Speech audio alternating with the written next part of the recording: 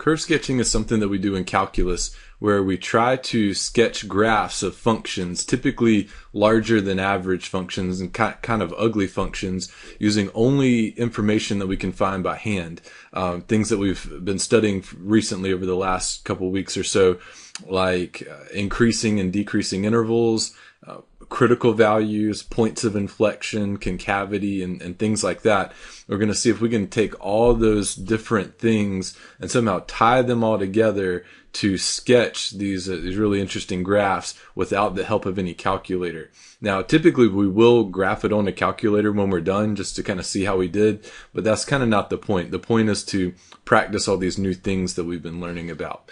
So when you think about the, the different things that uh, we know about functions, we know actually kind of two different categories of information. We have algebra things that we know about functions from previous semesters from uh, algebra 1 algebra 2 algebra 3 pre-calculus and, and, classes like that and then we have these new calculus things we've more recently learned about like extrema and points of inflection and, and those sorts of things so let's make us up a, a list of these things that we know. Um, this is not a, an exhaustive list. This is just kind of a, a good starting list uh, for the algebra concepts. You know, if we're handed a function, we could find its domain and range. We learned about that a long time ago.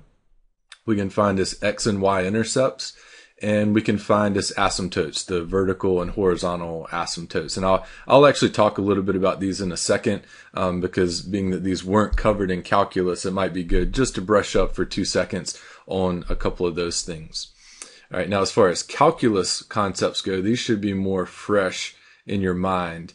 Uh, you can find critical values using a first derivative. You can find increasing and decreasing intervals for a function, uh, relative extrema, concavity, points of inflection, and I think that's about it, at least for, for right now. Now, I've got videos on all of these, and so if you're uh, watching this from a computer and not on a, a mobile site, uh, you should see some clickable annotations on top of those. So if you're a little rusty in any of those areas, just click on that link and it'll take you to that video, uh, and that would be a good thing to watch before you proceed any farther.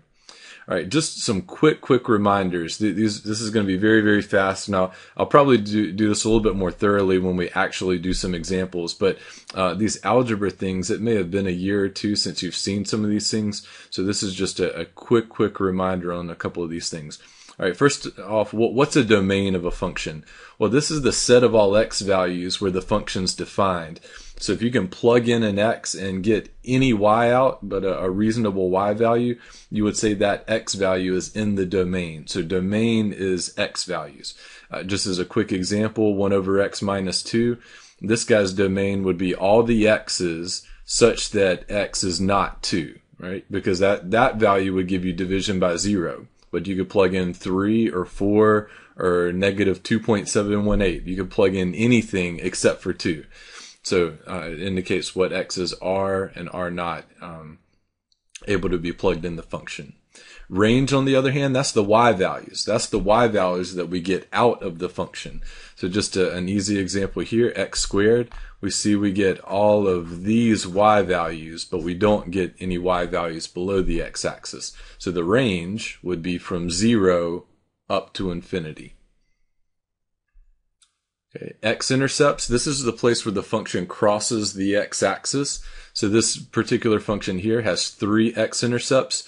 Uh, some alternate names for x-intercept could be called a root of a function or the zero of a function, but these are the places where it crosses the x-axis. To find these, you'll take your function and set it equal to zero and try to solve this. All right, the y-intercept for functions, you'll only have at most one y-intercept. That's the place where it crosses the y-axis, and to find that, we let the x be zero. The vertical asymptote, this is a place where the function will blow up to infinity or to negative infinity as you approach some constant. Now, this happens when the denominator equals zero except if you're getting an indeterminate form that's like zero over zero. Oftentimes that'll be indicative of um, like a, a, common factor that would uh, cancel. And so on a graph, that wouldn't be an asymptote. That would be one of those holes in the graph, if you remember those from, from when we studied limits. So an example like this, 1 over x minus 3, uh, you obviously can't plug in 3 because it would give you division by 0. 3 would make the denominator be 0. And so you'd have an asymptote there.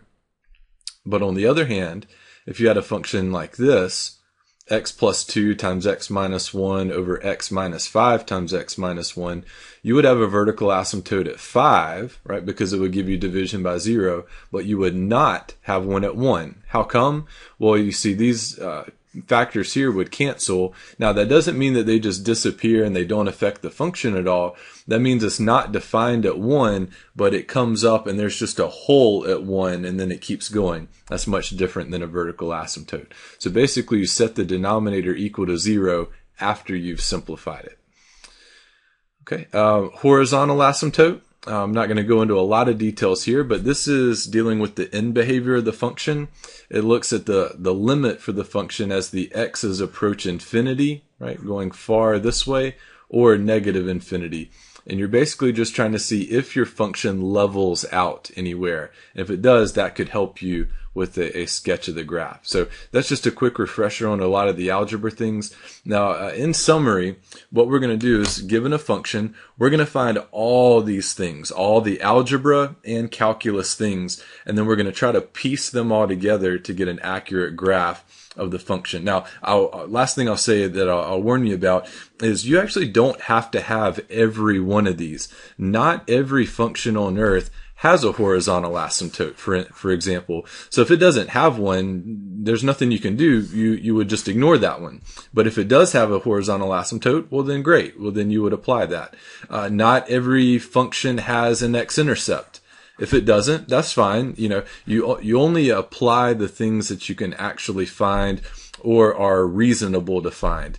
Um, sometimes if you're finding an x-intercept, and you set the function equal to zero, if it's a terrible function, that might be extremely difficult to solve if it's set equal to zero.